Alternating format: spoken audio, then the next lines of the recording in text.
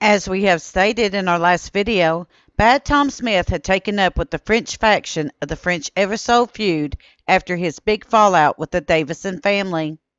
However, we shall see that the theft of the watch and the horse would not be the only time that Smith would commit larceny in this feud. In today's video, we will briefly go over some of the murders that took place that Smith confessed to and the reasons behind them. Smith will also speak about how he got out of trouble in these courts and the burning of the Perry County Courthouse.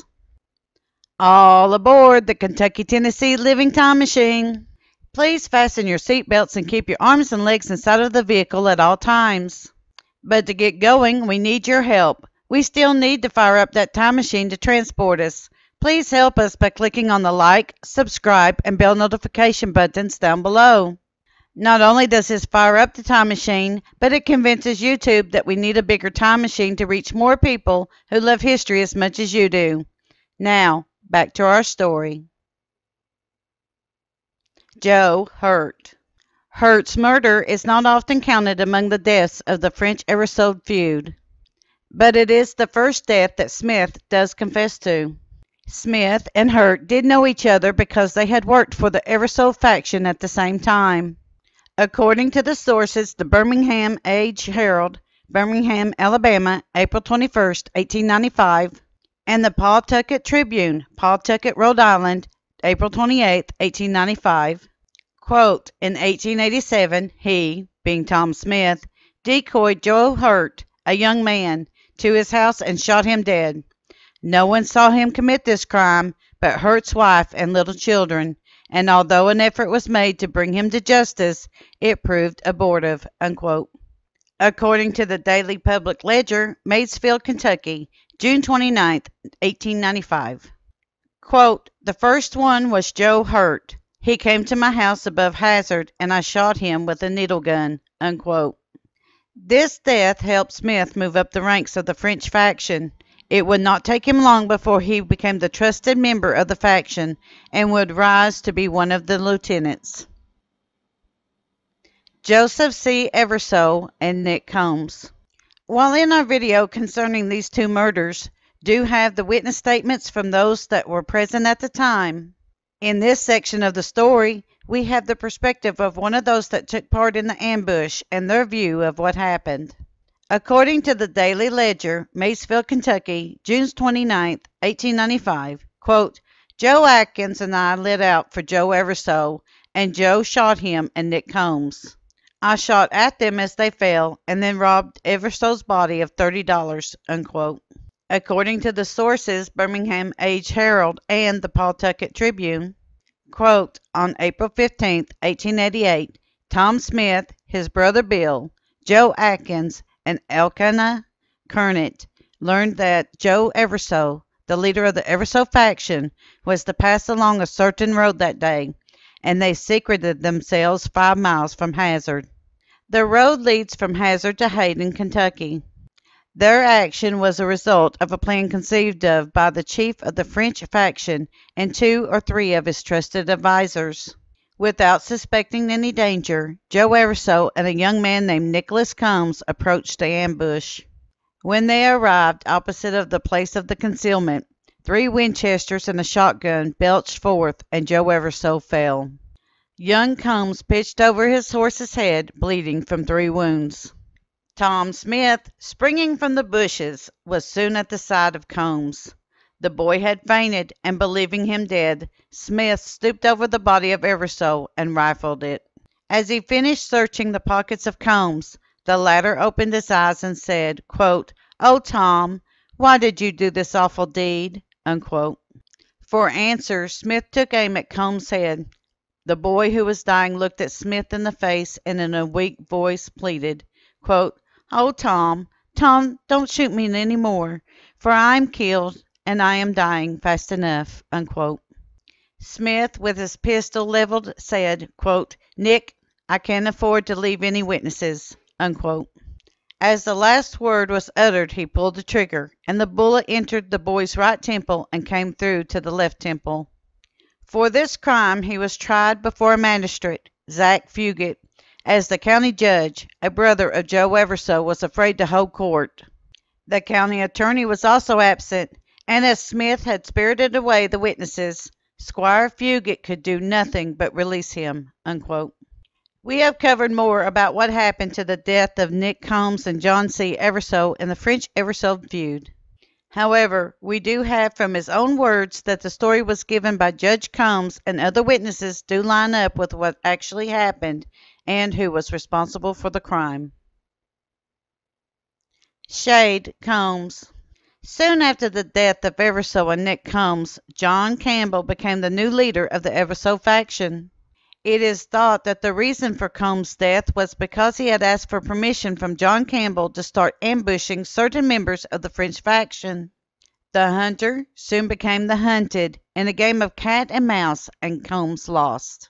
According to the Roots website, while standing in his yard saddling his horse, Shade Combs was shot and killed surrounded by his children. Thomas Smith, along with several other accomplices, were arrested. However, he was never taken to trial and did not face any charges for the murder. Robin Cornett.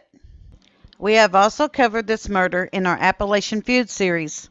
However, like before, we have this perspective of the person who pulled the trigger. According to the Daily Public Ledger, Maysville, Kentucky, June 29, 1895. Quote, Jack Combs and I killed Robert Cornell. It should be Robin Cornett next. He was cutting saw logs when we came upon him. I shot him first. We killed him because he belonged to the Eversoles. Unquote. According to the sources, the Birmingham Age Herald and the Pawtucket Tribune. Quote, Several other friends of Eversole's were notified to leave the county or die. Among these was Robin Cornett, who lived just beyond Hazard.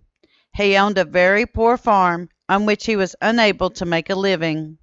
On this account, he worked during the winter getting out logs.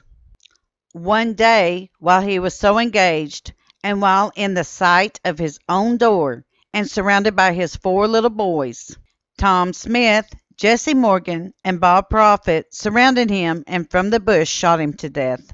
Smith was indicted for this crime, but evaded trial by having the case put out from the court to court and by forfeiting his bond. Unquote. It seems that Smith used the court system of the time to his advantage to get out of the murder charges. Even though he was indicted, he would never face charges for this murder. The Battle for Hazard and the Death of John McKnight. We have more of the Battle for Hazard, Kentucky in the French Eversole feud section. However, this is from the perspective of Tom Smith and why he killed John McKnight. Quote, During the session of the Perry County Court in the fall of 1889, the French and Eversole factions met in the streets of Hazard. Henry Davidson, one of the Frenchmen, and Wesley Whitaker, an Eversole man, got into a dispute.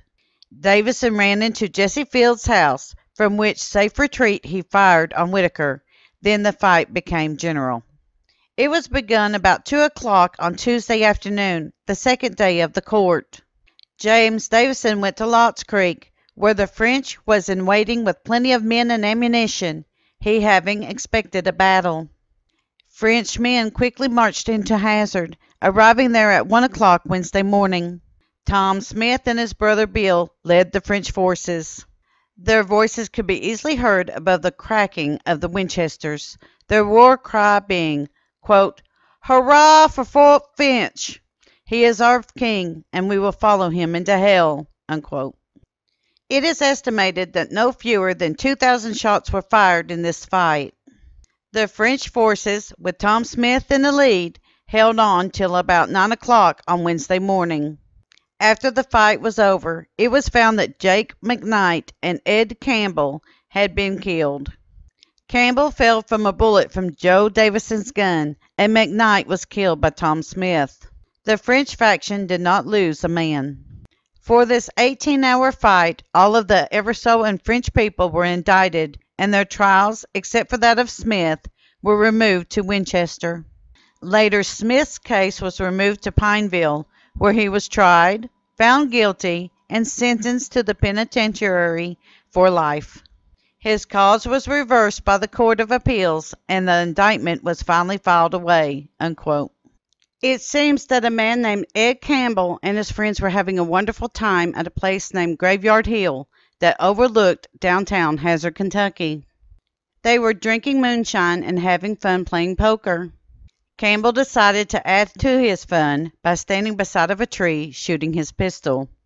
There was a store at the upper end of Hazard owned by Joe Davidson.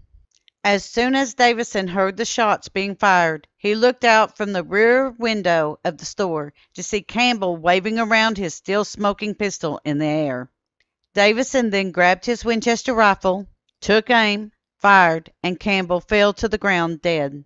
As for John McKnight, there had been a huge battle in Hazard, Kentucky between the Eversole and French factions. The Eversoles had used the courthouse as a fort of safety in firing upon the French faction. This soon became a trap, as Tom Smith and Jesse Fields went up on Graveyard Hill and set up a crossfire. Before dawn, John McKnight and another man attempted to cross the street for safety. Tom Smith opened fire upon them. McKnight died instantly. According to the Daily Public Ledger, Maysville, Kentucky, June 29, 1895. Quote, John McKnight was the next man I killed. I shot him in the fight at Hazard. Bob Brothers was also shooting at him at the time, and it may have been he that killed him. Unquote. Ambrose Amburgy. According to the sources Birmingham Age Herald and the Pawtucket Tribune. Quote, After killing Combs, Smith continued bushwhacking friends of Eversole. He and his brother Bill secreted themselves in a cellar of a house in Hindman, the county seat of Knott County, and in broad daylight assassinated Ambrose Amburgy. This crime occurred in 1889. Unquote. There is not a lot of information about this murder other than Tom and Bill Smith were in the cellar when they ambushed Ambrose Amburgy in broad daylight. Amburgy was a part of the Eversole faction in the feud. The burning of the courthouse. According to the same sources, quote, in the latter part of that year everything was quiet in Perry County, and the French having removed to Winchester, Kentucky, the grand jury returned several indictments against Smith for his crimes. This alarmed the murderer, and in gathering a crowd of his friends, he visited Hazard one dark night and set fire to the Perry County Courthouse. All the indictments and court records were destroyed except some documents that were saved by Coleman Reed of Mount Sterling. By threats and by spiriting away witnesses, Smith once more evaded the law. After the courthouse was burned, a reign of terror prevailed in Perry County. Men who had denounced his crimes left the county. Unquote.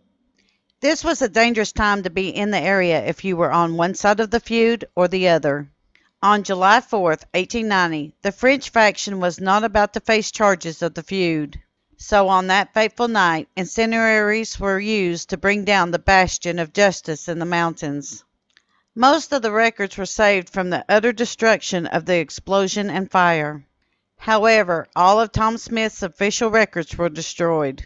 The court would not be deterred and began holding court sessions under a tent and called it Blanket Court and indicted men would face their charges in Winchester, Kentucky.